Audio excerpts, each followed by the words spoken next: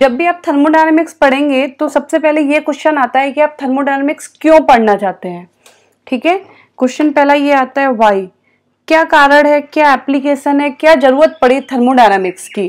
तो अपना जितना भी सिस्टम चल रहा है, उनमें कहीं ना कहीं थर्मोडायनामिक्स इन्वॉल्व है। जैसे अगर हम देखें कि थर्मोडायनामिक्स है क्या तो ये स्टडी होती है transformation of one form of energy to the another form of energy मतलब एनर्जी के किसी एक रूप से दूसरे रूप में जो ट्रांसफॉर्मेशन होता है, परिवर्तन होता है, वो हम थर्मोडायनामिक्स में स्टडी करते हैं। ठीक है? तो जैसे कि अगर हम देखना चाहें, हमारे पास एनर्जी की कितनी फॉर्म्स होती हैं? Electrical energy mechanical chemical thermal nuclear और बहुत ज़्यादा और भी साउंड एनर्जी काफ़ी एनर्जीज की फॉर्म होती हैं। ठीक है? तो किस तरीके से आप एक फॉर्म को दूसरी फॉर्म में कन्वर्ट कर सकते हो? वो होता है आपका थर्मोडाइनमिक्स में उसकी स्टडी करते हैं। ठीक है? जैसे अगर हम थर्मोडाइनमिक्स की एप्लीकेशन देखें तो एप्लीकेशन में सबसे पहले हम देखेंगे जितने भी टाइप के व्हीकल्स हैं जितने भी टाइप के व्हीकल्स चलते हैं, उनमें क्या होता है कि आप जो भी उसमें पेट्रोल डला रहे हैं डीजल डला रहे हैं, उसमें जो फ्यूल आप डला रहे हैं, वो बर्न करता है। किसी केमिकल रिएक्शन के थ्रू वो बर्न करता है। वो क्या करेगा? एक एनर्जी एक हीट जनरेट करेगा और वही एनर्जी ट्रांसफ़र होकर जाती है उस व्हीकल को मूव कराने में। मतलब उसकी जो फ्यूल एनर्जी है या जो उसकी केमिकल एनर्जी है, वो कन्वर्ट हो जाती है मैकेनिकल एनर्जी में। ठीक है? जैसे अगर हम बात करें एयर कंडीशनर्स हमारे घर में जो एसी होते हैं, हम क्या करते हैं कि पावर देते हैं मतलब हम इलेक्ट्रिक एनर्जी दे रहे हैं उसमें। और वो फिर एसी क्या करता है? वो वर्क करता है और हमको ठंडी हवा देता है। तो उसमें भी आपका एनर्जी इलेक्ट्रिक एनर्जी दूसरी फॉर्म में कन्वर्ट हो रही है।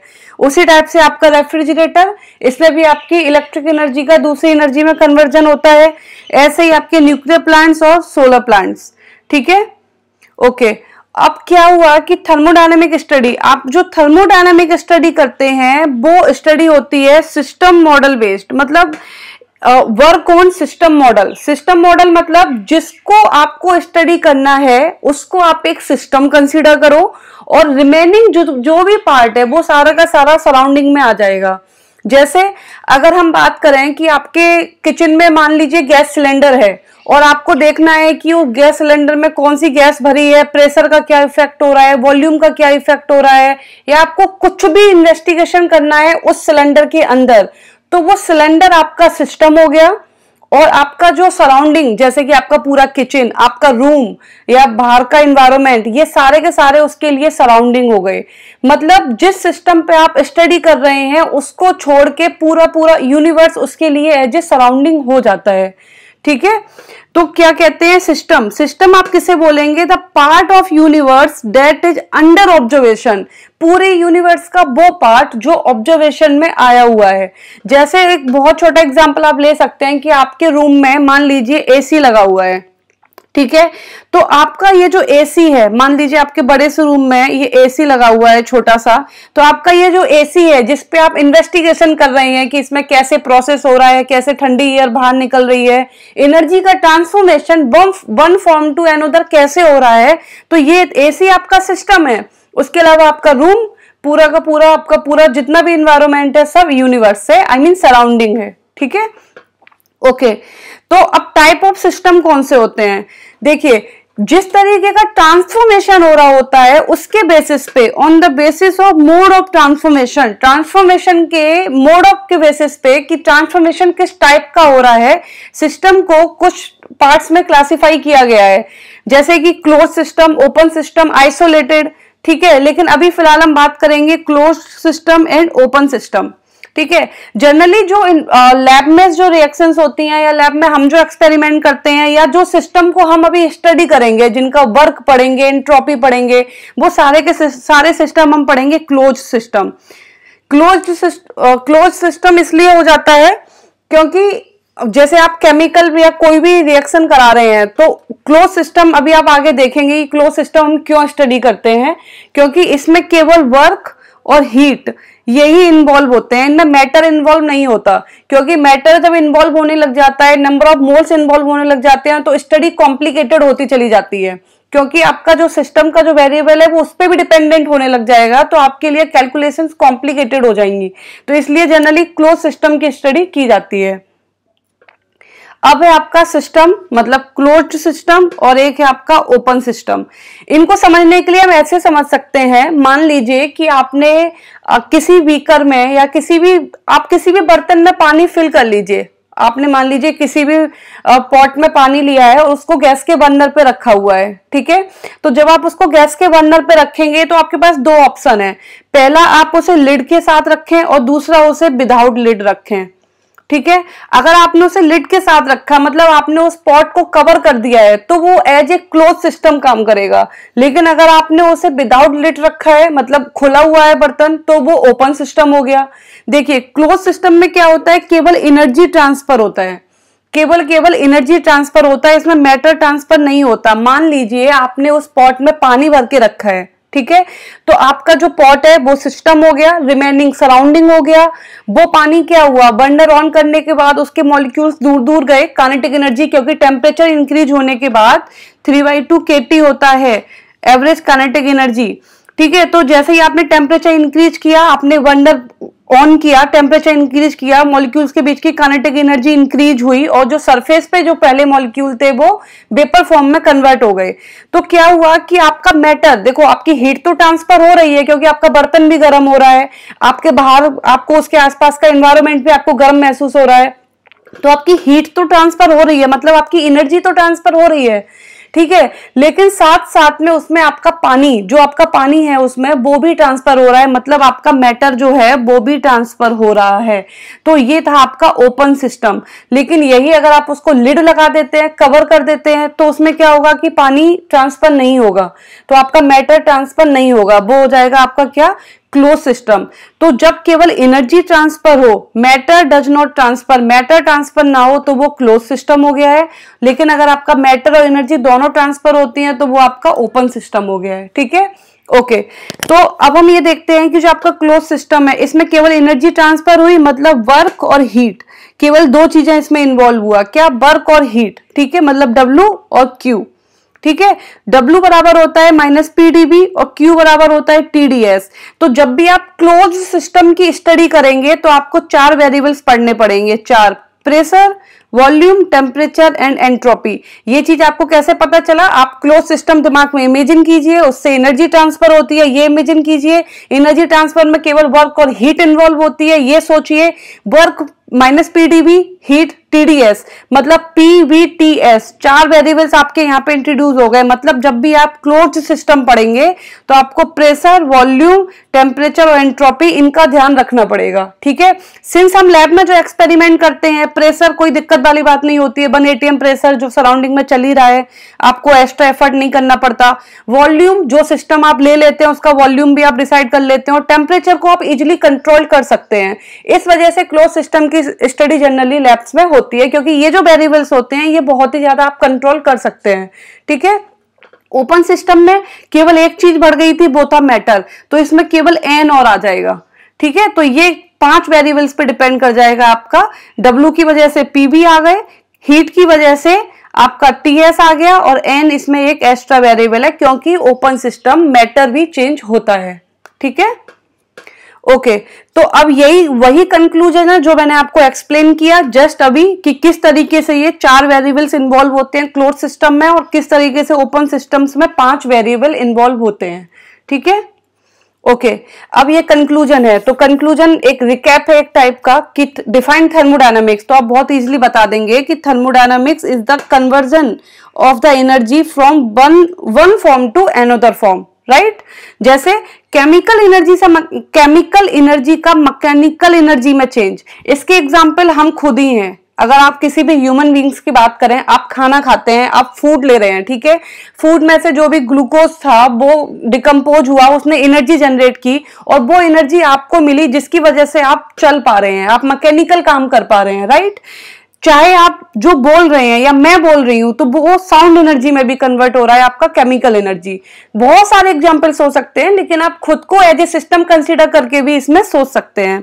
ठीक है, अब electric energy to mechanical energy जो मैंने आपको बताया, जैसे आप अपना फ़ैन ले लीजिए रूम का, आप एसी ले लीजिए फ़ैन जो भी लाइट आपने दिया इलेक्ट्रिक एनर्जी आपने दी और फ़ैन जो चल रहा है, वो मैकेनिकली काम कर रहा है मतलब मैकेनिकल एनर्जी जनरेट कर रहा है।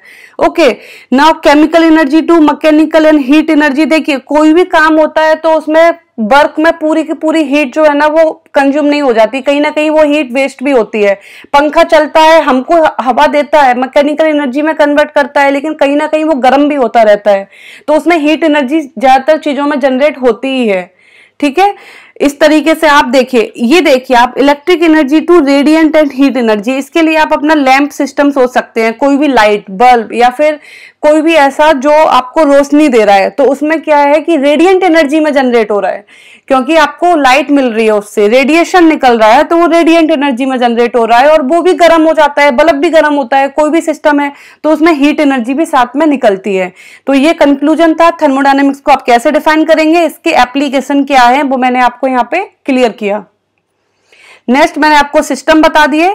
सिस्टम में क्या था मैंने आपको बताया कि सिस्टम मतलब क्या है कि सब्सटेंस या फिर mixture of substances in which changes occurs मतलब वो सब्सटेंस या सब्सटेंस का ऐसा मिक्सचर जो अंडर इन्वेस्टिगेशन है और जिसमें चेंजेस हो रहे हैं, उसे क्या कहेंगे? थर्मोडायनेमिक सिस्टम ठीक है? जैसे अगर आप इसको देखिए, ये कोई एक बीकर है जिसमें आपने के और के ले लिया है, इन दोनों का रिएक्शन होना है। ठीक है? तो इस सिस्टम के अंदर रिएक्शन होती रहेगी तो ये आपका क्या हो गया सिस्टम उसके बाद ये जो बाहर का पोर्शन है दिस पोर्शन बाहर का, ये आपका सराउंडिंग हो गया। इसके अलावा आप किसी भी पोर्शन को उठा लो, उसके लेफ़्ट में ले लो, उसके राइट में ले लो टॉप में ले लो बॉटम में ले लो, सारा का सारा आपका क्या है?